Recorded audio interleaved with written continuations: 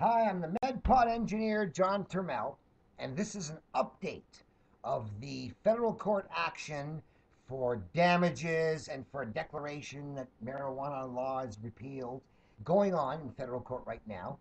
And uh, the Crown has filed a motion to dismiss all of the applications, 310 of them, um, without a hearing. And this is an explanation of the Crown's motion record for knocking out your claims for damages and other things. Okay, so for the fun of it, count how many times I list and enumerate when the crown misleads or outright lies. It'll blow your mind. So here we go the crown motion to dismiss all gold star claims.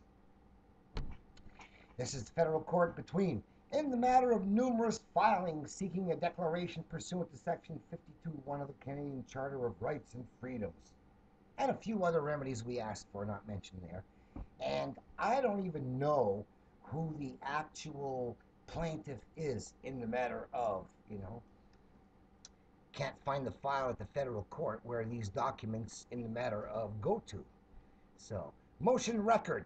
In it, the index, they have one notice of motion, Two, letter from Canada to the court asking for the right to do it. Three, letter from Bradley Hunt to the court, and then they dropped that, left it blank. Guess they wanted to leave him out. Four, written submissions of Canada. Five, my affidavit for summary judgment, sworn April 8th. Six, the letter from Canada to the court. And seven, written representations of the defendant, April 22nd. So the first stuff was asking the judge for the right to be able to make a motion to dismiss and giving himself 20 days to file it, and us 30 days to file a response, and um, then 10 more days for them to reply, then it goes to the judge. And they're trying to waste time and bring it up to August until after the new regs are here. So, notice a motion. Canada's motion in writing to strike the proceedings. Take notice that the defendant respondent will make a motion to the court in writing pursuant to Rule 369 of the federal court's rules. Now, I wrote a letter asking for a direction that this not be heard in writing because the 310 plaintiffs all had a live hearing when the Crown got their stay pending the Allard case. And here we have the same 310 with the biggest one of all to dismiss their case and end it all, and the Crown wants to do it in writing without a live hearing. And he expects 310 people to all produce motion records in response. And then, of course, the lesser wordsmiths will be at a disadvantage, right? So I'm asking for a live hearing like the last time so the people can have their say. And we'll see what the judge says. So, uh, now, the Crown motion is for an order striking the proceedings listed at Schedule 1 to this notice of motion without leave to amend. Two, any alternative, an order staying the proceedings listed at Schedule 1 of this notice of motion and adjourning the within motion pending the making of new regulations to replace the marijuana for medical purposes regulations. And I ask why? If we win A2 and get repealed, the law repealed, we don't need the new regs, do we? And the new regs have nothing to do with damages from being shut down by the unconstitutional MMPR. Three, in the further alternative, in order to consolidating the proceedings listed at Schedule 1 to this notice of motion. So if they lose, they want us all consolidated into one case, fine, except for when we get to the personal damages at the end, then they got to all be split up. Um, so I don't see how consolidating is going to help like it did for the 26 people at the Court of Appeal. Down here, there are too many varied personal remedies claimed to be dealt with all as one. And providing, Crown, and providing that the time for further steps shall run from the date of the court order. And I said, new steps until the new regs come in. And they get their remedy too, waiting for the new regs anyway. Uh, four. In any event, an order removing the minor plaintiff, that's got to do with Hunt, who filed a motion for his kid. Five, costs in the motion of the proceedings. Now, the Crown wants everybody to pay for asking for the remedy they just won with Allard. If Conroy got costs for winning A1, why shouldn't we too? Isn't that funny? They brought it up, and it looks like we have a neat new card. Six. Such further and other relief as this court may allow. So, did the unconstitutional MMPR really repeal the MMAR? The grounds for the motion are since February 2014, more than 300 self represented plaintiffs have commenced virtually identical claims in the federal court.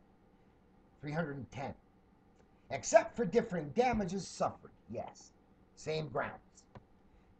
The identical claims are based on kits downloaded from the website of the plaintiff, John Turmel, and are hereinafter referred to as Turmel Kit claims.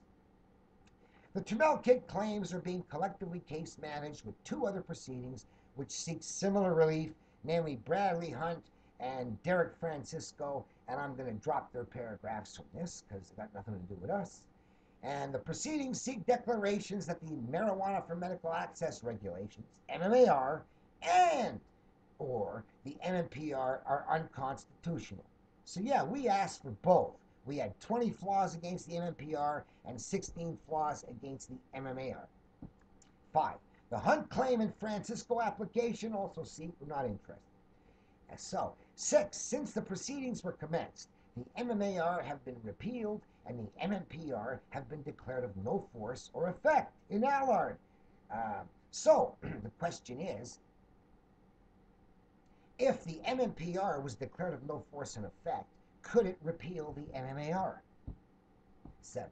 Since the proceedings were commenced, the Supreme Court of Canada has also issued a decision in R v. Smith, which recognized the right of medically authorized persons to possess cannabis derivatives. Actually, it did more than that. It struck down not letting them use it as a violation of their rights. That is the constitutional decision we like to use. Eight, the requested declarations are accordingly now moot. Now, actually, if the unconstitutional MMPR did not strike down the MMAR, List A's complaints against the MMAR, 16 beefs, have not been adjudicated. Notice that because the MMPR has been mooted, the Crown sneaks in the half lie with the half truth. Now, I'm putting little splotches in my text just to mention how many times the Crown misleads the court. There's a good reason to hear later. So, uh, listen, basically, we're backing up our bad faith arguments against Health Canada with bad faith and half truths by their lawyers. so, the Crown. The other requested remedies are unavailable as a matter of judicial comity, stare decisis, or jurisdiction. Now, you don't shouldn't know what that means, but here it is. They say you can't claim damages because of these code words. Comity, Webster, mutual courtesy, civility, comity of nations, courtesy between nations, as in respect shown by one country for the laws and institutions of another. Two, stare decisis means already adjudicated, so you can't. And three, and the Crown keeps saying that all our stuff's already been adjudicated in Allard. Three, jurisdiction, and they say we got no jurisdiction for a remedy. But that's it in response to the claims for damages. So, comity of judges is courtesy between judges, as in respect shown by one judge for the decisions of another. But how does adjudicating your damages claims be not courteous to any other judges somehow? Two, had any other judges ruled on damages before? Three, how did the court have jurisdiction to remedy Allard but not to remedy the Gold Stars. Remember? Kirk even at Kirk even asked for Beano, which was thrown out. So why can't we now? So that's it. Their whole case against having your suit for damages be dismissed. Nothing but nothing. Crown 9.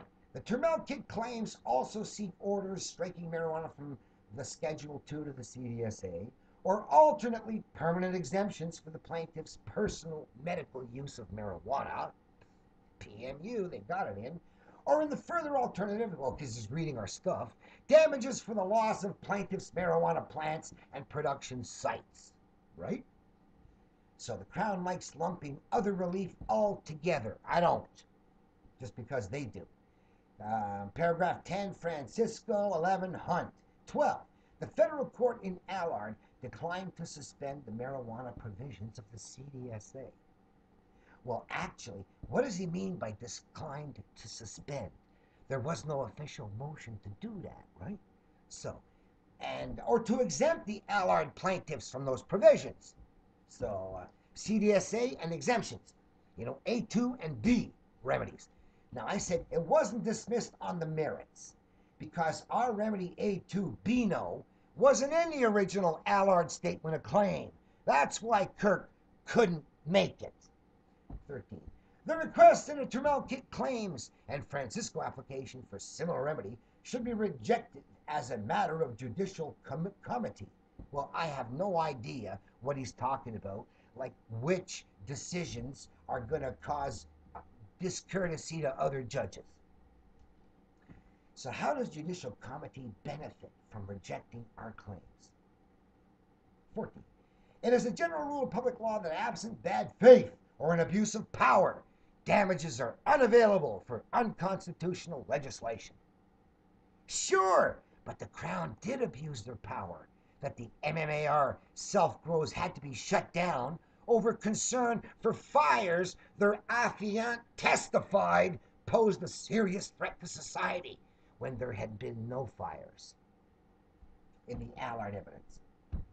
They abused their power when they presented false surveys and fraudulent conclusions to support their nine times too low 150 gram cap on possession. Lies and more lies are the grounds of the Crown abuse of power. 15. So we're saying, yeah, they did bad faith and they abused their power. But he doesn't, he forgot we said that. 15. As the Turmel Kit plaintiffs do not plead bad faith or an abuse of power, their claims for damages should so be rejected. But we do plead bad faith behind the legislation to shut them down that harmed them. We know we had to do that. 16. Canadian courts have consistently affirmed the constitutionality of requirements for physician approval to use marijuana and I said, who cares if courts have affirmed the constitutionality of requiring recalcitrant physicians to gatekeep the medicine they won't hand out? And that's, anyway, that's already solved anyway. The MMPR has been struck down. The requests in the Hunt claim, gone. 18. This honorable court is also without jurisdiction to declare the DPRA. Oh, that's again Hunt. Okay. Uh, the pleadings fail to disclose a reasonable cause of action. That's code. It is plain and obvious that the claims fail to disclose a reasonable cause of action. It is not plain and obvious that the claims fail to disclose a reasonable cause of action when they're based on so many conscious lies and exaggerations. Although they broadly allege that the MMAR, MMPR, and CDSA violate the plaintiff's rights under the Canadian Charter of Rights and Freedoms, the pleadings do not contain any facts concerning the plaintiff's personal circumstances or capable of supporting the constitutional violations alleged. The pleadings contain enough facts to show they were exempted and estimates of the damage suffered by losing their exemptions the protect the viability of the regime whim of the court. The pleadings are frivolous and vexatious. The claims are so lacking in material facts and are so prolix, argumentative, or unintelligible as to also be frivolous and vexatious. David Shea is dead. And while the Crown feels vexed while his frivolous application for medicine was stayed at the request of the crown. That's frivolity and vexation rolled into one. The claim of the minor plaintiff in Huntington. All right, Huntington 22. So that's it. End of that. Following documentation will be used. John Bricker, the Crown Attorney Executioner. Tab 2 is the March 30th letter. Tab 3, the Hunt stuff they pulled out. tab four, Department of Justice letter again about the about getting the uh, right to have the motion presented. Then my affidavit, and then the uh, okay to lift the aff- lift the stay that had expired, but they don't want them to file my summary judgment, which was already filed. anyway, written representations. Part one, overview. It's going to have the Turmel Kit claims, the Hunt claim. We're not do that. Allard et al. The federal court stays the present uh, proceedings. The Supreme Court of Canada decision in Smith. F trial decision in Allard, and G the present motion. Points in issue. Part four, submissions. The requests for declaratory relief should be dismissed as moot.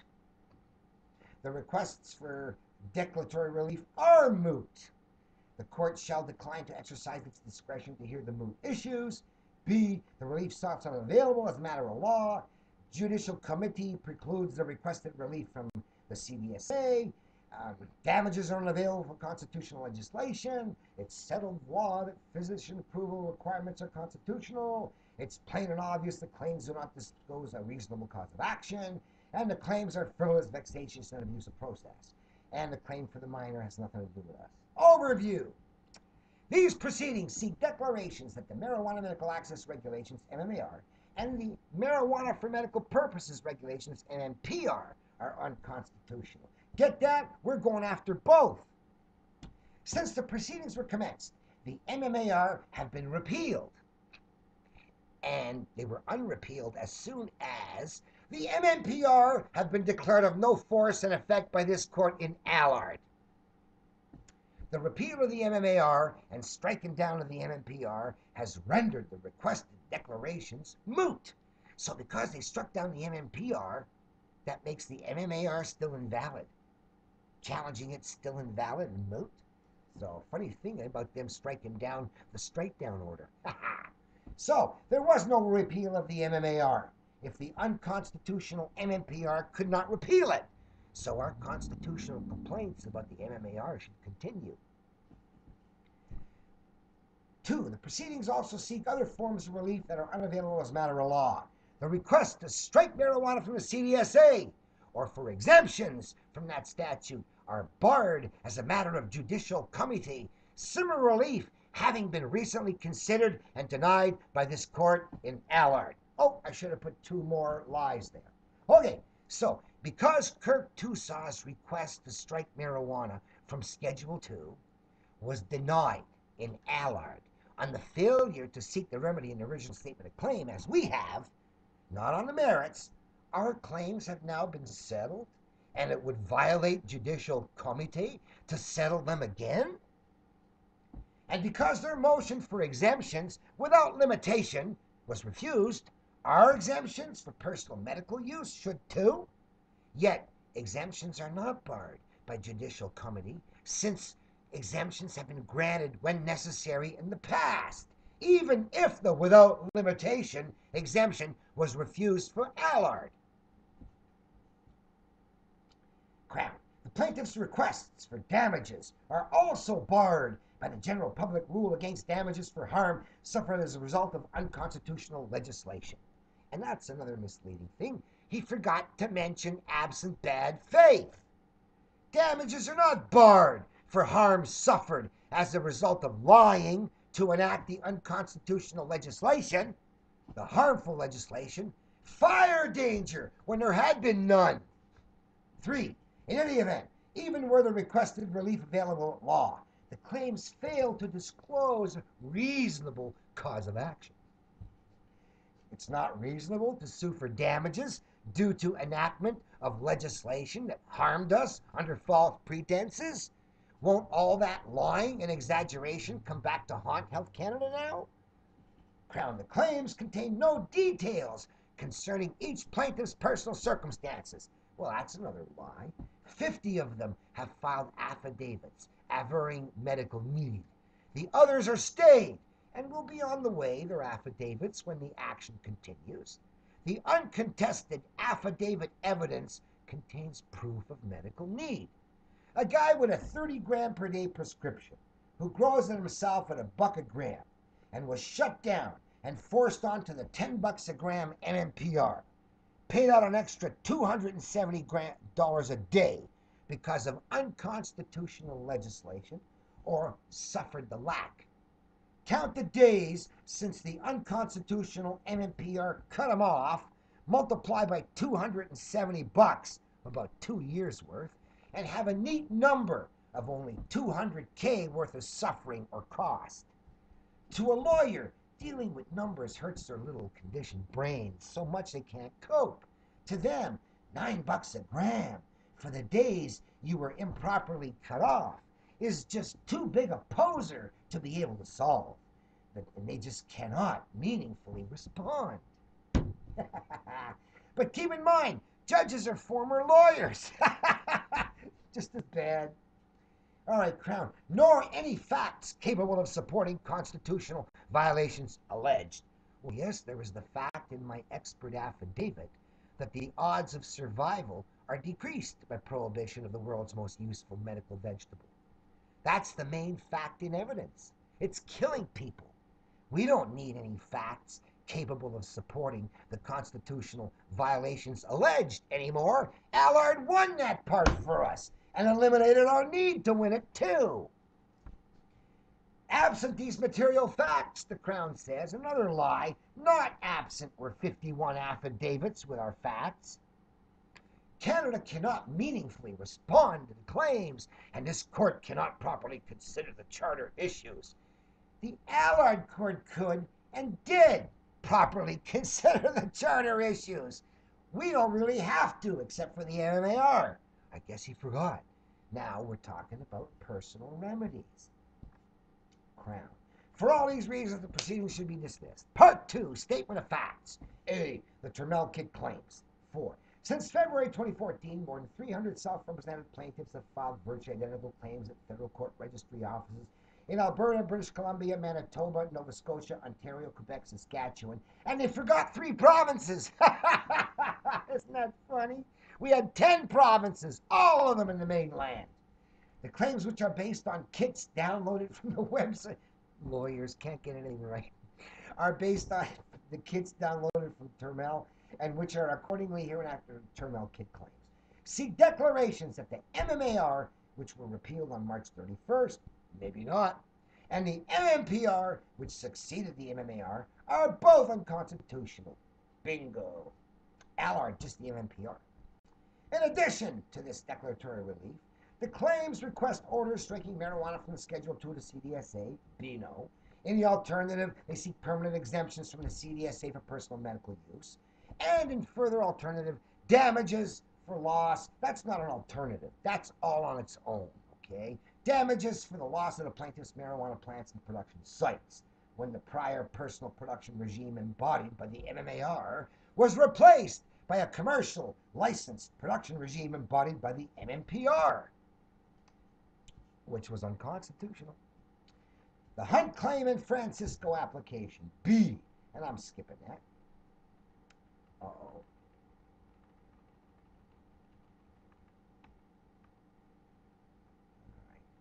Turmel Kit claims are being collectively case managed with those other two, seven, eight, nine paragraphs as well. C. Allard and others versus Her Majesty the Queen in Right of Canada. 10. At the time the present proceedings were filed, the federal court was already seized with a comprehensive constitutional challenge to Canada's medical regulatory regime. Allard, in right of Canada, like the plaintiffs in the application in the present proceedings, the plaintiffs in Allard sought declarations that the MMPR infringed Section 7 by unreasonably restricting access to marijuana for medical purposes, as well as permanent exemptions from the CDSA for the plaintiff's personal medical use of marijuana. Bam! Lie! Yes, like Allard, plaintiffs sought declarations. But, unlike Allard, the Allards didn't seek them for personal medical use. I have to count every half truth, okay? They did, that's a lie. What am I saying? Out and out, the Allards did not ask for personal medical use. They were refused for without limitation, okay? So I guess that's the first instance of them ducking the without limitation. Let's see if they mention it later. There it is. Got him in a lie. 11. As the trial of their action, could not be completed before the MMAR were repealed. The Allard plaintiffs also brought a motion for an injunction on behalf of all, per- all persons medically approved to possess marijuana. By order dated March 21, the federal court, Judge Manson, granted their motion in part. Wonder if he mentions the other part. The Allard injunction order preserves authorizations to possess and licenses to produce that were issued under the MMAR and that remain valid on the dates specified in the order. With the exception the amount of marijuana that can now be possessed is limited to 150 grams, the limit specified in the MMPR. And Justice Manson, when he accepted the government's estimated averages from their surveys of two grams on average, had actually stated in the same paragraphs that the doctors in Canada had prescribed an actual average of 18. So, he knew the average, was, average was 18, and he accepted the government's fraudulent surveys that it was 2. That's why he came up with a 5. Hey, five's plenty if the average is 2. But it ain't plenty if the average is 18. And in the very same paragraph where the judge accepts the estimate he had the actual average. Guess he never took a stats course, and we got this kind of thinkers doing our judging in a high tech world. I think judges ought to have a course in Boolean algebra, and if they're no good in math, they shouldn't be judges. Okay? Let them stay lawyers. Lawyers will say anything. Judges shouldn't be able to.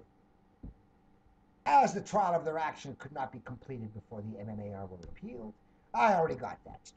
The lie. By order, yes. The Allard injunction preserves the authorizations. That's right.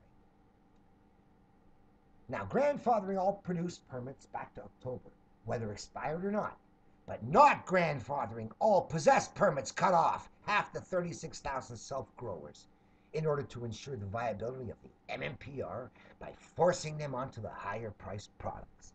And of course, managed to not mention the 18,000 who got cut off. Notice? mentioned the 18,000 who still got in. The federal D, the federal court stays the present proceedings. On March 7th, the federal court Crampton CJ issued a direction temporarily staying the Turmel claims pending determination of the Allard injunction motion. In so doing, the Chief Justice observed that the Allard injunction and Turmel Kit claims raise the very same issues. And even if Crampton got it wrong, they're pushing his error. Another lie seeking MMAR repeal and seeking MMAR extension are judged the very same issue? anyway, 13. Following the Allard injunction order, defendant in the Turmel Kit and Hunt claims, Her Majesty the Queen and Right of Canada and the respondent to Francisco application, the Attorney General brought a motion for the further stay of the present proceedings pending final disposition of Allard. By an order dated May 7th, the case management judge, Mr. Justice Phelan, granted Canada's stay motion. In so doing, he noted the substantial overlap between the Allard litigation and Turmel Kit claims, and that the claims sought relief that was very close, if not identical, to one another. Except the stuff that didn't overlap, right? Duh. They wanted to save the MMAR, we wanted to repeal it. So why was there jurisdiction for them and not for us? But note the overlap means there was some not overlap. It makes our point that there are some not overlap issues that remain to be considered. 14. In staying the proceedings, Phelan J also expressed concern with the sufficiency of the pleadings. I mean, he wanted to play doctor and wanted to see our x rays, but he just said, You ain't got enough or I'll give you more time to send stuff in. I won't tell you what you need. Filed with the plaintiffs, filed by the plaintiffs and the applicant. He noted that there was a dearth of detail, paucity was the actual word, in some of the pleadings, and that many suffer from a paucity of information. Those using the Turmel kits blindly may wish to consider whether doing so will advance their particular interest. Better just be left out and die, is what he's saying. Well, rather than try with this long shot. Vague generality and hyperbole are not always of assistance. Well, if you can't get the main generality and you can't get the hyperbole, I guess not. Lawyers may not know when enough is enough and so need to replicate the proof of fact 10 times. Engineering elegance allows us me to only do it once with the best. Engineers call just enough elegance. Lawyers call just enough paucity as if it's not enough. The difference between high tech and low tech thinking. Sure, you got the Trump ace, but I'd like to see more before I'm convinced. Duh. My elegance is unappreciated. What can I say?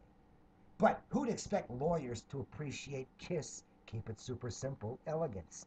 The judge would have preferred lots of duplication, like lawyers always proffer. Then again, calling engineering precision vague generality means he doesn't get how natural law works.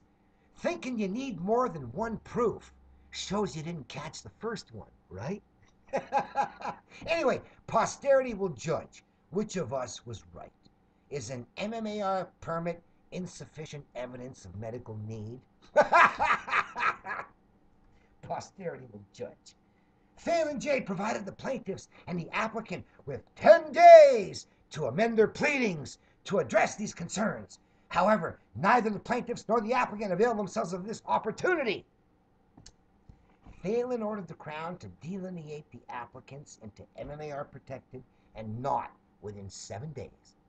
Once those who were listed protected found out, they had 10 days to file more that they didn't need. But once those who were not listed as protected found out, they had three days because Judge Phelan said their days, 10, started right away, while the protected got it all 10 days after their list came out. Gee, you know, uh, oh, and worst of all, the Crown only informed those who made List A and never informed those who needed to file in three days at all. Gee, wonder why so few filed. Imagine. Almost like being tag teamed by the judge and the crown. Nevertheless, 50 had already filed their medical affidavits, even if no more did. So, because no more did, doesn't mean none did. Another lie. Get a splotch in there. And there are 26 who appealed his refusal to accept that the uncontested affidavit as valid. Imagine sworn testimony with no Crown response, and Phelan said it wasn't enough to believe. E. Supreme Court of Canada in Smith. The plaintiffs and the applicant in the present proceedings allege that the CDSA and or MMPR are unconstitutional in that, among other things, they permit possession and production of marijuana only in dried form while prohibiting other marijuana derivatives. Yes, plaintiffs allege CDSA and MPR are invalidated by dried only. Smith and Allard only alleged the MMPR invalid, not the CDSA. CDSA is brand new. Even though Kirk brought it up at the Supreme Court, they threw it out there too because he hadn't filed it originally. Twice Kirk tried Beano, and now they're trying to say that because he lost those Beanos, I can't do Beano. Not quite mooted by Allard, right? Seems there's still some unfinished business. 17. Crap. On June 11th, the Supreme Court of Canada issued a decision expressly addressing this issue. In R versus Smith, the court found that the restriction to dried marijuana was contrary to Section 7 of the Charter and declared Section 4 possession and Section 5 trafficking of the CDSA to be of no force and effect to the extent that we prohibit individuals with medical authorizations of possessing cannabis derivatives for medical purposes. F. Trial decision in Allard. The federal court, Phelan J., issued its trial decision in Allard on February 24th. The court found that the MMPR infringed the plaintiff's rights under Section 7 of the Charter and that the infringement was not justified under the section. 1. The court therefore declared the MMPR to be of no force or effect, but suspended its declaration for six months to provide the government time to develop a new regulatory regime, and of course, let a lot more people die. Isn't that disgusting? From the first day of Parker, when the judges said, We find that denying, prohibiting marijuana to epileptics violates their right to life, we're going to suspend our decision for a year and let an extra year's worth die. Every time they suspend a violation of the right to life decision, they're letting more people die. four epileptics a day times 15 years, 1500, that's over 20,000 dead epileptics extra because of the courts. Neat, eh? And I can count them all. So, uh, the federal court issued its decision. The court declared MMPR of no force in effect but suspended. In declaring the MMPR invalid, Phelan J noted that he also considered suspending the CDSA provisions, which make it an offense to possess, produce, and distribute marijuana. Lie. No, he didn't. He had unofficially denied the strike motion request with little time for consideration since he could not grant it for want of notice before then not granting it. anyway, luckily, we're not seeking to suspend the CDSA provisions. We want no force and effect. Suspends like it stays over our heads. They want to make something with a mere comment on Kirk's failed request to strike the word. Sure, the judge refused on a technicality, but he made the comment that they now want to call a ruling. I'll tell you what it is later. I only point out there were no facts filed or in consideration for Beano. Just a quick, can't do that. However, he declined to do so. Well, he couldn't do so, noting that the reading down of the CDSA was a blunt instrument which may not be necessary if the charter compliant regime were put in place or different legislation passed. So the blunt instrument of striking the word off the list to make all prohibitions come down may not be necessary if they finally come up with a working exemption. No need of the blunt instrument, maybe. Now, the comment was that people needed protection against the offense when there was a bad exemption. But actually, protecting them was too blunt, forgetting how Beano works. Blunt instrument may not be necessary, is all he said, not that it was not appropriate. Sorry, I'm still asking, because it is my right to have the blunt instrument against evil. Too blunt is another lawyer concept, like too precise. So, bluntness is what's needed, and the judge didn't have what it took to deliver the blunt solution that may be too blunt. Okay, it sounds like he chickened out on bluntness. But of course, he couldn't rule anyway, could he? All right. Although the Allard claim had also sought permanent exemptions for the CDSA from the CDSA for the plaintiff's personal medical use, and he lied again. They were seeking it for without limitation, not mere lying, actual lying. Allard did not seek exemption for personal medical use. It was rejected for being without limitation. Gee, I love catching them in outright lies. Then, hey, it helps our case for bad faith, right? Then again, the judge ignores it and often repeats the lie. I accept the Crown position. That was false. All right. Phelan J also declined to grant that remedy, opting instead to extend the Allard injunction until such time as the court otherwise orders. Well, it makes sense that if Manson declined exemption for Allard's personal medical use, Phelan should decline ours too. Except Her Majesty lied about the first Manson decision being identical on personal medical use. The clear message his paragraph meant to convey. In order to prove bad faith on the part of the government, I wonder if we can list all the Crown lies from all our previous motions. They've been so crooked with lie after lie. Surely, if their lawyers are that crooked, we can argue the legislators advising them are too. After all, the crooked legislation all comes from the crooked lawyers at the Ministry of Justice, with more crooked lawyers defending their crooked lawyers' works in the courts. 20 of the plaintiffs and the applicant in the present proceedings, 162 meet the criteria of the Allard injunction and are entitled to its benefits. So, about 148 have claims for damages, even if the 162 do not. Though they can still bitch about having to live under the MMA conditions, right? That's still alive, never dealt with. The present motion. The time to appeal the Allard trial decision has now passed without an appeal. The stay of the present proceedings having therefore expired, Canada wrote to the courts on March 30th to advise of its intention to bring a motion to strike. By order dated April 6th, Phelan directed Canada to bring its motion by April 26th. But note that Canada did not have to move to lift the automatically expired stay like Phelan forced me to do. Quite the double standard. And though he helped them, they then threw him under the bus by pointing it out in their letter how he'd made me lift the stay they thought was automatically expired. 22. On April 8th, the plaintiff, John Turmel, served and attempted to file a motion for summary judgment. In his motion record, Mr. Turmel acknowledges that his requests for declarations in relation to the MMAR and MPR have been rendered moot following Allard, and also purports to abandon his claim for damages. Lie, half lie. Two. Anyway, I claim the unconstitutional MMPR could not have repealed the MMAR and rendered moot our actions against the MMAR and I would not drop my brother Ray's challenge to its onerous conditions, would I? I'm only purporting to drop the damages claim for 300 bucks. I'm only purporting. I might still not do as I purport.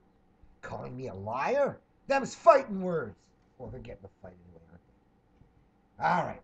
Points in issue. The issues are the requests for relief have been rendered moot the other requests are unavailable for judicial stare decisis and jurisdiction, and it's plain there's no cause of action, and the proceedings are frivolous and vexatious. That's their arguments. Every technicality in the book. Not one chance to deal on merits. With a pack of lies, too. A. The request for declaratory relief should be dismissed as moot. The Supreme Court of Canada has established a two step test for deciding whether to dismiss a case as moot. At the first step, the court must decide whether the case is moot, in the sense that a decision will have no practical effect on the rights of the parties. If moot, the court must then consider at the second step whether there are any reasons to nevertheless hear the case on its merits.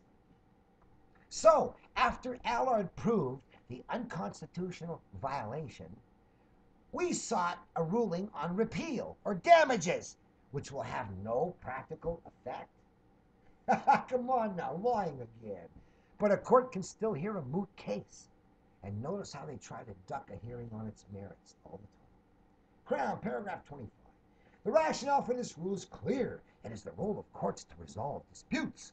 Adjudication in the absence of a live dispute may deprive the court of the necessary adversarial or factual context, while at the same time consuming scarce judicial resources that could be better spent assisting the parties live disputes. So they're saying because the Allard case killed our dispute over the bad exemption, we ought to kill our dispute over no offense and damages. There's no dispute here, so kill it to save cash, is what they're saying.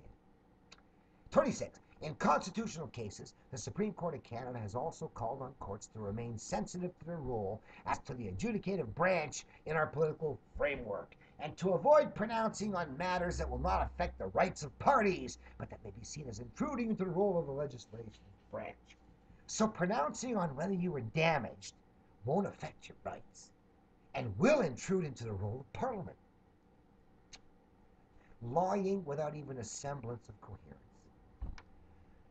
Ah, one, the requests for declaratory relief are moot. How many times are you going to say it? Since these proceedings commenced, the MMAR have been repealed. Maybe not. And the MMPR have been declared by this court invalid to be of no force and effect. Therefore, it couldn't repeal the MMAR.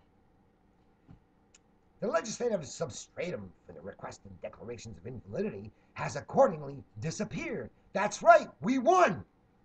With respect to the leg, oh yeah, with respect to the legislative restrictions to dried marijuana, the Supreme Court in Smith has also declared Section 4 and 5 to be invalid to the extent that they you know, deprive people from using dry.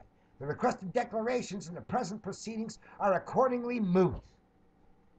He's saying that because they said you can't prohibit them from having their stuff, that it basically only applies to them and not to our guys.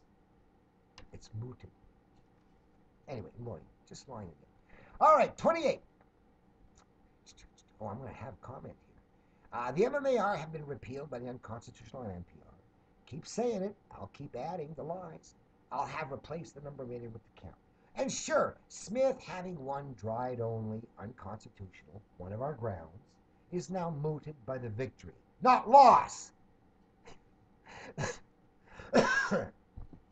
The federal court in Allard suspended its declaration for six months to provide Canada with time to develop a new regulatory regime, while the MMPR remained in effect during that time. Yeah, the one that ain't working remains in effect. the present proceedings cannot practically be decided before the MMPR expire, and adjudication would therefore have no practical effects on the rights of parties.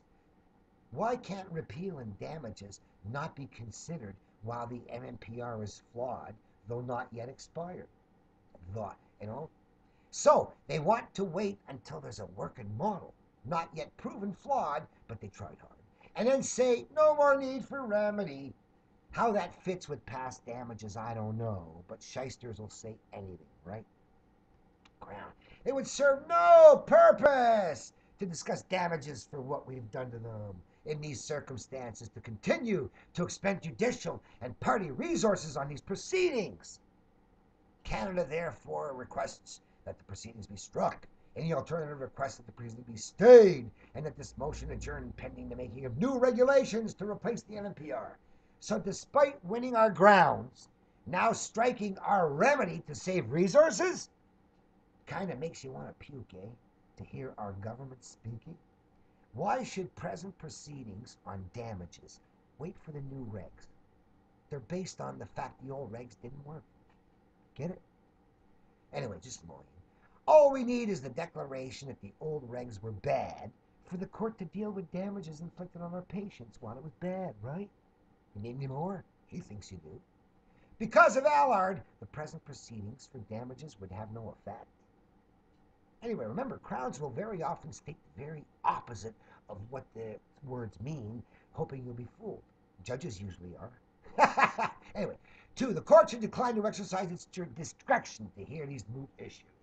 Always ducking a hearing on the merits. Always looking for a back way out, and usually getting it. 29. While the court has discretion to decide moot issues, ah, there are no reasons to do so in this case Relevant factors at this stage of the mootness analysis include the need for an adversarial relationship in court. Gee, we ain't been adversarial enough for them. The principle of judicial economy. We couldn't give a screw about how much money you're going to waste. Three, the proper role of the court vis a vis Parliament. A, Parliament can't fix our damages. None of these factors warrants adjudication in this case. 29 and I'm saying lots of factors about why you shouldn't be able to claim damages once you've won your grounds. Anyway, on to more law. 30. With respect to the first factor, the need for an adversarial relationship, the plaintiff, John Turmel, on whom the other kit plaintiffs have relied for their arguments, acknowledges that the requested declarations are now moot and appears to no longer seek declarations that the MMAR and NOP are, invalid. Double lies again. Missed one line. Never said the MMAR declaration was moot. Did I? Did I? Nice, pure, out and out lie. But keep lying enough, and the judge will probably forget or fail to see the truth. And I wonder how he appears to no longer seek it when it's still there.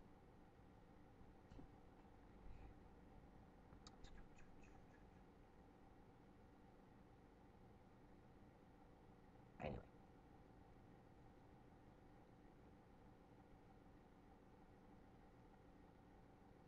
Oh, okay. It only it only no longer appears to him because he managed to forget it. He wouldn't be lying again, would he? Oh, okay, absent argument from the plaintiffs, the court cannot properly adjudicate on these issues. Absent argument, the Crown doesn't want to allow the court to hear. With respect to the second factor, judicial economy, these proceedings have potential to consume vast judicial resources in its May 2014 decision staying the first 222 proceedings. The court noticed it was faced with a somewhat unprecedented situation of hundreds of lay litigants, among whom it was difficult to identify a lead file. it was difficult to identify a lead file. Probably still is. uh, it's pretty funny. Um, or to realistically coordinate since that time, 88 additional proceedings have been filed. And in the course of these proceedings, the plaintiff has also brought more than 100 motions for interim relief pending trial, 42 appeals, and 17 applications for leave to appeal to the Supreme Court of Canada, with significant likelihood of more such motions and appeals should the proceedings continue. No, more such appeals should the proceedings not continue. I did mention in my letter to the, to the judge yesterday that, hey, if you want to, I'm not having people answer everybody this thing for the crown trying to move this out. Only I'm answering.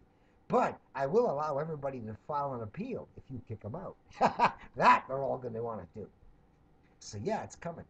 And sure, David Shea is dead while his action was stayed, but remedy is too costly and late. So that's a lot of actions. So anyway, we gave him a lot of fight.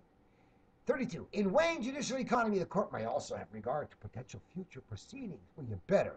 If adjudication on the merits would resolve issues and thereby reduce the need for future litigation, the court may exercise its discretion to hear the moot case. Well, that's about the best argument I heard for letting this thing go through, isn't it? That is not the case here. Well, I think it is. The MMPR have been declared of no force in effect. Not the MMAR. Oh, the MMPR, yeah. And it is currently unknown which, if any, of the MMPR features impugned in these proceedings will be retained in the new legislation, or whether a decision on the constitutionality of those features will assist parties in future cases.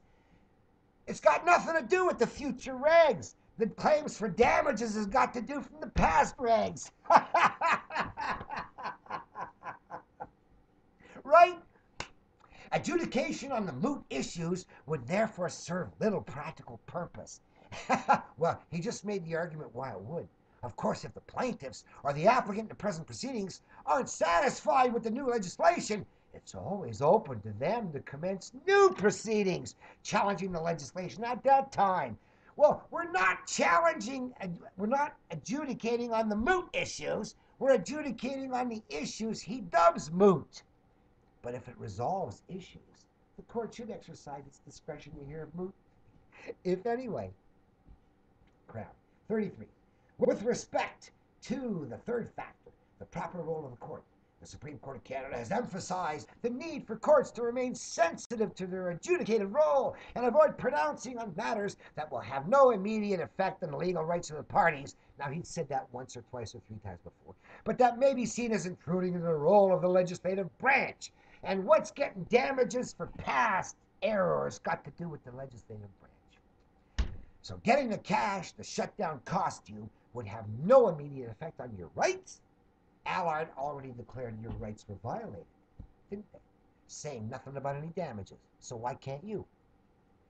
In the present case, adjudication will have no immediate effect on the rights of the plaintiffs. An applicant has but has significant potential to affect the legislative options available to the government in responding to Allard. Wow. I can have that kind of an effect if I get heard. They might not put in some of the options, the nasties, if I get heard. Need, eh? That is not this court's rule. The proceedings should therefore be dismissed as moot. I put that on one lie. Adjudicating damages will have effects on our rights. Who cares if it eliminates some bad government options? Good. Can't keep screwing it up. B.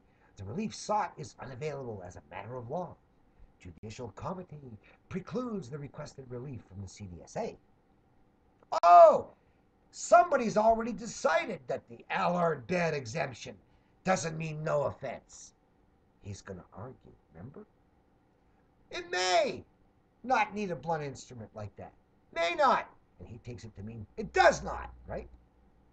So, so being courteous to other judges means he can't follow the Parker decision? That said you need a working exemption to have a valid prohibition. 34. In addition to declarations that the MMAR and MPR are unconstitutional, the proceedings request that A, the CDSA prohibitions be struck down, B, yeah, yeah, that's what we asked for, yeah. The federal court considered, but declined to grant similar relief in Allard. Note the word similar, that's a half line, right? Similar, like give us an exemption without limitation, is similar to give us an exemption for personal medical use. The only similarity is the word exemption, okay? And uh, anyway. and uh, the judge's mere comment that it may be too blunt, he can't convert into a court order. That now stare decisis applies to. Get it? So, B, that the court considered and declined similar relief in Allard isn't true. The only thing similar about exemption without limitation and exemption for personal medical use is the word exemption. And the Crown, there's no reason for the court to depart from that conclusion in this case. True, Justice Phelan found that personal medical use was too without limitation, though it had always been the remedy of preference by earlier wiser courts. The doctrine of judicial comity requires that the proceedings be dismissed in these circumstances. And no, it doesn't, because those decisions weren't made. For those non reasons and false precedents, be courteous to the courts whose words they've twisted. 35. The Federal Court of Appeal has characterized comity as an aspect of stare decisis. Like stare decisis, where you can't argue something again that's been decided officially. Comity is intended to promote consistency and predictability in the law, as well as sound judicial administration. Comity provides that although not strictly binding, previous decisions by the same court are deserving of considerable respect and should be departed from only where there are strong reasons, also sometimes described as cogent reasons for doing so. So don't depart from his opinion that blunt. It may be too blunt. Okay? It didn't say it was too blunt, so don't have to depart. If he'd said it was too blunt, I'd ask you to depart. But he said it may be too blunt, so you can believe that until I've convinced you it ain't too blunt. So, accept that the maybe too blunt comment wasn't a previous reasoned decision of the court on the merits, was it? No background information, no facts upon which the judge made his decision. How could he come up with a reasoned decision without any facts at all? He'd said earlier, but it's okay now that Phelan came up with a decision on something they like with an odd comment without any facts at all. Exaggerated into a real decision. So, strong reasons does not simply mean better arguments. Rather, the plaintiff requesting a departure from a previous decision must establish that either, I put two lies here, there was no official decision previous on the CDSA challenge, and no previous decision on damages. The word previous is a lie. Lucky this doesn't apply to us, unless the judge fails to see the inanity in asking not to deviate from judgments not on our issues. Don't deviate from that judgment over there that had nothing to do with us. Oh, okay. Ah, Crown. A. Subsequent decisions have affected the validity of the previous judgment. Some binding case law or relevant statute may have come up. C. The previous decision was unconsidered. Hey, there's the proof. The judge, it was, and given in the circumstances where trial exigencies required an immediate decision without opportunity to fully consult authority. And that's exactly what Phelan did. He opened his mouth and gave an opinion about blunt, maybe not being, maybe being too blunt, and guess, exemption being too blunt. And guess what? The crowd's not trying to turn that into a decision, a previous decision. But the crowd has no previous decisions for comity to apply to. 36. While it declared the MMPR invalid, the federal court in Allard expressly declined to also suspend the CDSA straight down. Prohibitions on marijuana, a remedy the court described as a blunt instrument which may not be necessary if a charter compliant regime were put into place. So expressly said declined for lack of official notice. Then the judge added, don't bother asking, it's probably too blunt anyway. Sorry, I'm still asking. I like blunt.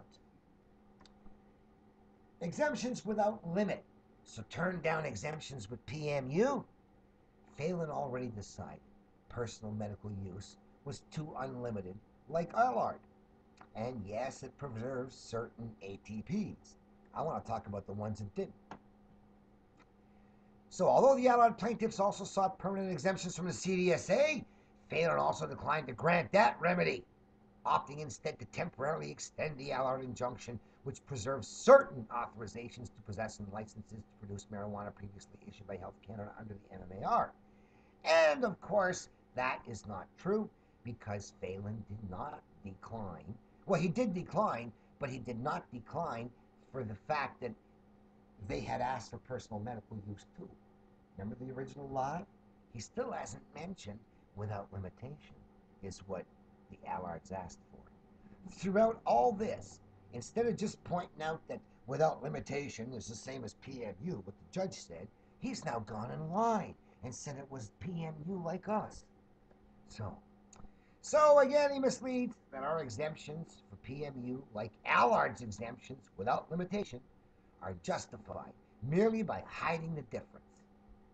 Notice to preserve certain authorizations. I'd rather say cut off 18,000 previous authorizations. Then again, I'm counting the victims, and they're counting the self growers they still have to knock out. Kind of covers up the left out dirty deed, doesn't it? 37. The plaintiffs and the applicant in the present proceedings now attempt to relitigate those issues, but have identified no reason why the court should depart from its decision in Allard. Well, we are not attempting to relitigate the issue that was not allowed to be litigated in Allard. He keeps lying. This is brand new, Beano. No suggestion the relevant legal issues were not fully considered, but how to consider something not on the claim. And then apply refusal to us? No need to revisit the issue that wasn't visited? Doesn't constant misrepresentation by the government lawyers puke you out too? The Allard decision is just two months old and has not been overtaken by subsequent decisions. The Allard decision thoroughly canvasses the relevant case law and statutes and was based on an extensive evidentiary record and thorough legal submissions by all parties during a three week trial. There can be no suggestion in these circumstances that the relevant authorities were not consulted or that the relevant legal issues were not fully considered. There is accordingly no reason to revisit those issues in the present proceedings. And we're not trying to revisit the bad exemption, are we? And if revisited, there is some risk that efficient judicial administration, as well as the values of consistency and predictability in the law, would be undermined. Well, I don't think so. As if trying to get damages once the declaration of unconstitutional regime has been won is not to revisit Allard. Allard didn't raise Beano nor damages. We're not relitigating Beano or damages, are we? Another barefaced lie. 38. With respect to the requested CDSA exemptions, this court has also previously denied similar relief in the context of these proceedings. Didn't mention without limitation. And in dismissing motions by several of the Turmel Kit plaintiffs for interim CDSA exemptions pending trial of their actions, this court held that the requested exemption would be without limitation. And like the Allard one was without limitation, personal medical use is without limitation, said Phelan, you know, and was not tailored to the alleged charter violation, but appears essentially unlimited, says a judge who thinks personal medical use is essentially unlimited.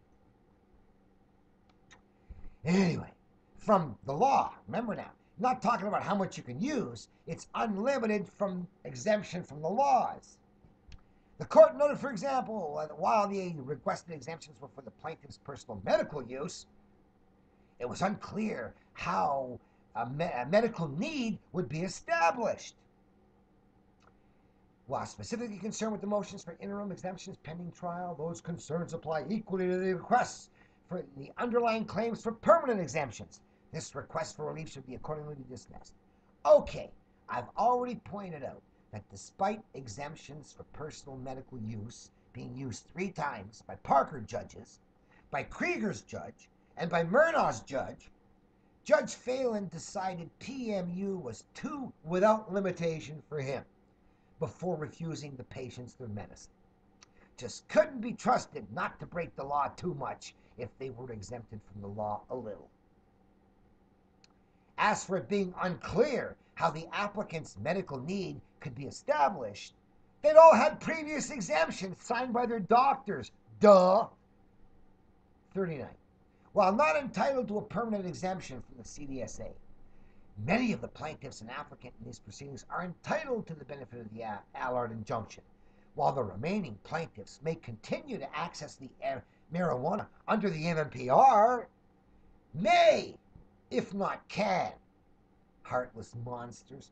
Hey, they can always pay 10 a gram instead of one. I'm going to put that down as a half truth because if they cannot, they may not too, right? So these measures are sufficient to ensure continued access to marijuana for plaintiffs with demonstrated medical need while the new regs are made. So buying expensive is sufficient to ensure continued access. Jeez, lying again about how reducing their access is ensuring their access. But when a doctor's prescription doesn't convince the judge, who wants to play doctor himself, you end up with David Shea. Phelan's diagnosis was that he could survive without an exemption. Oops! Glad he never got a medical degree. Just another screw up lawyer sticking his nose where it doesn't belong. I love pointing out how Shea died while his appeal for remedy was stalled by Phelan. Hope he's organizing a welcoming gauntlet Phelan can run when he finally gets his judgment day in heaven. You can bet when I get there, it's the first video I'm going to watch. Well, maybe after a few accordion concerts. I got 50 years worth of fans up there for whom I was their last good time on earth. Damages are unavailable for unconstitutional legislation. Well, now they're going to argue that lying about fire damage for your grow ops to shut you down and lying about the average dosage to keep you short doesn't show bad faith. And honest incompetence by government has no remedy and needs none anyway once the patients have died. 40. The MMPR required that any unused marijuana grown under the MMAR be destroyed upon the expiry of those regulations. Several of the Turmel Kit plaintiffs now seek damages for the loss of that marijuana and for their loss of their production sites. This request should also be dismissed. 40. I say. The unconstitutional regime enacted upon fraudulent dangers ordered them to destroy their legal storage. Why shouldn't they seek damages for the marijuana destroyed? 41. It is general rule of public law that absent conduct that is clearly wrong, in bad faith, or an abuse of power, the courts will not award damages for harm suffered as a result of the enactment of legislation that's subsequently declared to be unconstitutional. Where bad faith or an abuse of power is alleged, the federal court rules also require that they be pleaded with particularity. Yes, can't claim damages for bad legislation absent bad faith, with false evidence, perjured evidence, sworn to the Allard court about danger from fire, about average doses, is not only clearly wrong, but in bad faith. Lying and ending up with corpses certainly doesn't show good faith, but also abuse of power. Where bad faith and abuse are alleged, it must be pleaded with particularity. Yes, we'll be pointing out the lies we're relying on to show bad faith. 42. Although they allege that the MMPR are unconstitutional, the Turmel Kit plaintiffs do not allege that they were enacted as a result of conduct that was clearly wrong. Well, oh, yes, we do. In bad faith, or that amounted to an abuse of power. The claim for damages is therefore destined to fail. Well, actually, we do allege the MMPR were enacted as a result of conduct that was clearly wrong, lying, in bad faith, or abuse of power. Otherwise, why would we ask for damages? We knew that it had to have bad faith. Five hunt on. C. It's plain and obvious that the plain claims do not disclose a reasonable cause of action. 47. Even were the requested relief available at law, it is plain and obvious that the claims do not disclose a reasonable cause of action. The claims should accordingly be struck in accordance with 221 of the federal court rules. They'll probably say can't have unreasonable claims. Anyway, wonder if David Shea's action for his death, violating his right to life, is still going on. He has no cause of action. He's dead. 48. A claim discloses a reasonable cause of action if it contains facts capable of supporting each element of the cause of action. Well, I had an ATP. I had an operation. They ordered me to shut it down. It cost me this much. Gee, no facts. Da, da, da. Um, if facts capable of supporting each constituent element are not pleaded and are not pleaded with sufficient particularity, the proper course is to strike the claim. And our claim discloses a reasonable cause of action with facts capable of supporting each element. Fact unconstitutional MMPR damaged patients by shutting them down their cheap supply. Canada can allege they see no facts all they want, but that's only because they can keep their eyes closed. Besides, Tousaw asked for Beano 2, just didn't file it right like I did. 49. The requirement to plead facts supporting each element of the cause of action is supplemented by the general requirement to plead all material facts on which the party relies. The reasons for these requirements are clear. Pleadings are intended to provide the other party with notice of the case to meet and to clearly define for the court the issues in dispute between the parties. Neither goal is achieved in the absence of material facts. Well, I thought the facts were clear that medically authorized people who were cut off were harmed by the unconstitutional legislation and their odds of survival were decreased, decreased by the prohibition and they want to get cash. 50. The requirement to plead material facts is heightened in charter cases. This ain't a charter case. Okay, that they did that. Well, okay, so it is a charter case. We're relying on the charter they won. Okay. The Supreme Court of Canada's caution that charter decisions must not be made in a factual vacuum. No, no, we gave enough facts. The presentation of sufficient facts in charter litigation is not a mere technicality, but is essential to a proper consideration of the charter issues. Sorry, we're not pleading the charter anymore. Allard did that. We're only pleading the remedy. Remedy Allard didn't ask for right, and damages they didn't ask for at all. 51. The present claims fall far short of these requirements, although they contain a historical overview of Canada's medical marijuana regulatory regime. The Turmel Kit and Hunt claims contain no details concerning each plaintiff's personal circumstances or interactions with that regime. Another lie! 50 of our applicants have filed their medical affidavit. Doesn't he remember the 26th at our appeal? Short term memory loss, maybe. Needs a few brain cells. Should smoke some pot before he gets too much worse. Ah, the plaintiffs do not allege, for example, that the impugned provisions have restricted their personal access to marijuana for medical purposes. They can't have it anymore! You shut them down!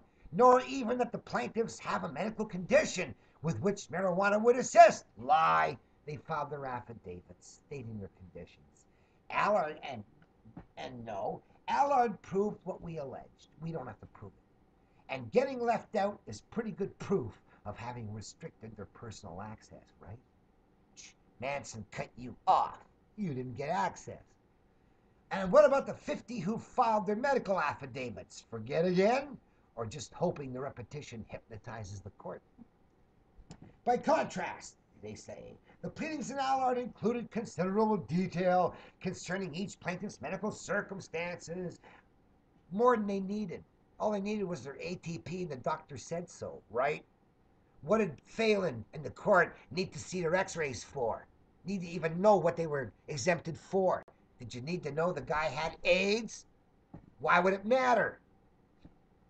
Uh, and experiences with medical marijuana and how they affected by the MMPR. Great! They did it for us. Lots of our guys were affected by Allard, either life or death. 52. The claims also fail entirely to address the material elements of the charter causes of the action alleged. Allard did that. We won't have to argue the similar claim. Was the whole purpose of the original Crown stay in the first place, right? They said, hey, if Allard wins it, they won't have to argue it. So Allard won it. Why are you telling us we have to argue it right? Although they broadly allege violations of Section 7, the claims fail to explain how each of the impugned legislative provisions deprives the plaintiffs of life, liberty, or security of person, or to de- identify a principle of fundamental justice engaged by that deprivation. Well, David Shea's dead when he might have been saved. I should explain that to him. He was engaging the right to life before the court sentenced him to death. That's Section 7, right to life. In several instances, the alleged infringements appear to be entirely speculative and not based on any actual experiences under the impugned regulations. Yes, it was entirely speculative that David Shea and others might die. Too bad the court didn't heed those speculations. 55. Similarly, with respect to the Hunt claim, gone. 54. This court has also previously expressed concern about the sufficiency of the pleadings filed in the proceedings. Phelan wanted to play doctor. In his May 7 reasons granting Canada's stay motion, Phelan noted the dearth of detail in the pleadings. Yeah, we told him doctor said I had a medical need. He didn't think that was enough. And the Turmel Kit claims, in particularly contained vague generality and hyperbole. We've heard this before, right? But a paucity of information concerning each plaintiff's personal circumstances. And should I explain again the difference between paucity and elegance? Is the difference between intellectually superior and intellectually inferior? So, absent these material facts, Canada cannot meaningfully respond to the claims, and it submits that these courts cannot properly consider the charter issues. The charter issues were already done, remember? The claims should accordingly be struck. What a low tech intellect may consider paucity, a high tech intellect considers engineering elegance. Doing the most with the least is an achievement lawyers never learn when padding the bill with replicated documentation pays so well. Paucity does not mean insufficiency, it means not much.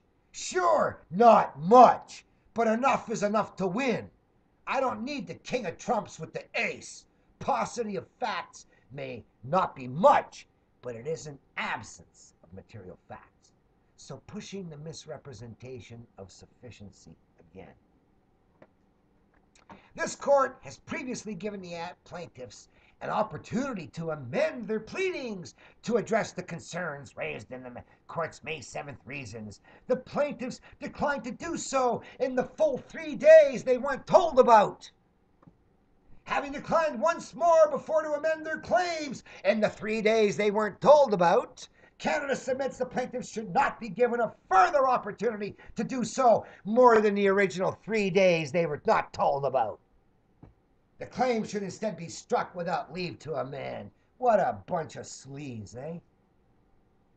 What about the 50 who filed their medical affidavits? I gotta say again, they didn't need to amend their pleadings. Lying with partial truth again. Because nobody amended their pleadings, must have been none when there were 50, and he knew the 26 at the Court of Appeal and the ones who've appealed to the Supreme Court. But did they have a real chance to amend the pleadings with the judge's tricky timeline? And they're not informing all the plaintiffs? The judge ordered the Crown to produce List A, who were protected by Allard, and List B, who were not. And when that when List A got their notification, they got 10 days to amend their filings. And when those on List B got their notification, they had three days. Their 10 days started now. So why would Phelan give the protected who didn't need to file medical affidavits 10 days and the unprotected who did need to file only three days? No wonder no more than the original 50 got in on time. Worse, the Crown didn't send a copy of the document to List B, so they were never even informed that they had to file in three days. Sleazy, eh? You can't make this stuff up. It's the real Canadian government. Where in Judge's order did it say that only List A should be informed and not List B? Okay? Did it say only those plaintiffs get it and don't bother telling those plaintiffs? Think that catches them in their sleeves. But haven't, now that's pretty, that's really dirty. So, but having been tricked into not responding, patients should not now be prevented from finally being allowed to file their affidavits. Of course, they might get another no notice three day deadline, right? The claims are frivolous, vexatious, and an abuse of process. Well, guess what? They didn't call the Allard claim that. Right? We claimed it too. And they didn't call Kirk Tousaw trying for a Beano without proper foundation frivolous and vexatious. They said it was just too blunt. Right? And he wants to laugh at this. We won our declaration and he thinks it's frivolous. So not too frivolous or vexatious for David Shea to want remedy before he died of the lack. 57. A pleading is considered frivolous and vexatious if it is so bereft of the fact. Yeah, we heard this before, okay? So, What may be incomprehensible to low tech intellect may not be so incomprehensible to the high. Besides, he keeps forgetting the 50 medical affidavits he did not challenge. Why would he allege no facts of medical need when there are affidavits in evidence? And when the remainder file their affidavits like the first 50 did? He keeps forgetting about those. First of all, the guys who didn't file, they were stayed, right? And they can still file now that stay's gone. So he keeps forgetting about those who did file uncontested affidavits. Phelan just chose to say he couldn't be convinced they weren't liars. Finally, Beano wasn't so frivolous that Kirk Tousaw asked for the same. Crown wasn't laughing then. 58.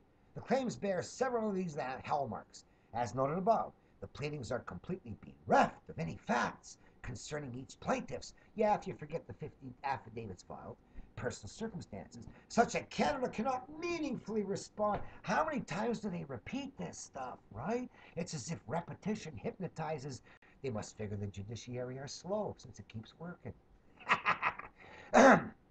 so, to be ref to respond, again, forgetting the fantastic 50 facts and evidence. 59. The Turmel Kit pleadings are also prolix. Now, that's probably the biggest lie, the most laughable. Webster's prolix extended to unnecessary or tedious length, long and wordy. Well, that's the first time everyone ever called Kiss Engineer prolix. Any judges who know me know I talk fast and say it once, write it once too. Me, long and worth, wordy? Come on. Prolix. I never knew the word. I'm prolix. Anyway, at points argumentative. Gee, something wrong with arguing in a legal case? And includes several statements inserted for color. Gee, something wrong with not being as boring and bland as you? For example, with respect to the requirement for physician approval to use marijuana, the claims note legislation appointing someone ignorant of the treatment is tantamount to appointing a monkey as gatekeeper. And noting the fact that the monkeys sometimes open the gate means the exemption is not practically unavailable. That's what they say. Remember, hey, some doctors open the gates. Yeah, but the others won't. So, you know, geez, if they don't know what the medicine is and they haven't studied it, it's like putting a monkey in charge, is all I'm saying. And he thinks that's a little too hyperbole. Well, no, these doctors are worse than monkeys. Monkeys might do better than always know. Hmm. JCT. That's in the bad exemption part that is already won. And it has nothing to do with the motion for relief. But nice for the Crown to bring in something unrelated for backup. And excuse me, I think the doctors are worse than the monkey anyway. The doctors are expected to know why they'd say no and don't. No one would expect the don- the monkey to have studied up so his refusals are not on purpose. 60. Hunt incompre- incomprehensible. And 61. The court may also dismiss a claim on the grounds it's an abuse of process. A pleading is an abuse of process if it attempts to relitigate right issues that have already been decided in separate proceedings by a competent court of jurisdiction. We're not relitigating what was never litigated yet, nor decided in other separate proceedings on its merits. As noted, I have to keep answering if he's going to keep lying. As noted above, the plaintiffs and the applicant in the present case attempt to relitigate the remedial determinations made by this court just two months ago in Allard. Again, a lie. We're not trying to relitigate Allard. We love it. We're delighted with the one remedial determination made so far and do not want to relegate the Allard win. But of course, the Crown is pretending, maybe too blunt, dismiss the non existent motion to strike the word. Opinion of Phelan. At points in their claims, the Turmel Kit plaintiffs also dispute the correctness of the findings of the Ontario Court of Appeal in Mernagh. That's a lie. The Ontario Court of Appeal in Mernagh overturned the Taliano ruling that not enough doctors were participating, so Beano, bad exemption, no Section 4 and no Section 7 offense. The Court of Appeal ruled, we're not convinced that doctors didn't have good reason. So my constitutional challenge kits ask witnesses to state the non-medical reason the doctor used to refuse. There's nothing in the Mernagh Court of Appeal ruling about maybe doctors had good reason I can object to. So, another boner by Bricker. Crown, the plaintiffs identified no reason why this court should depart from those judicial determinations. Lie. And it would be an abuse of this court's process to allow the proceedings to continue in this circumstance. We're not asking the court to depart from condemnation of the MMPR. We love it. Those judicial determinations, that judicial determination, had nothing to do with ours. And that's a good report. Hunt claim improperly brought, sure, sure, sure. Order sought, we know what they want. An order striking the proceedings without leave to amend. Any alternative, an order staying the proceedings, adjourning the motion, and finally consolidating. And in any event, they want to remove the Hunt claim and uh, costs. So, the court seems to think that sufficiency can't be done with a paucity of evidence. It can't be done with just enough. You've got to have more.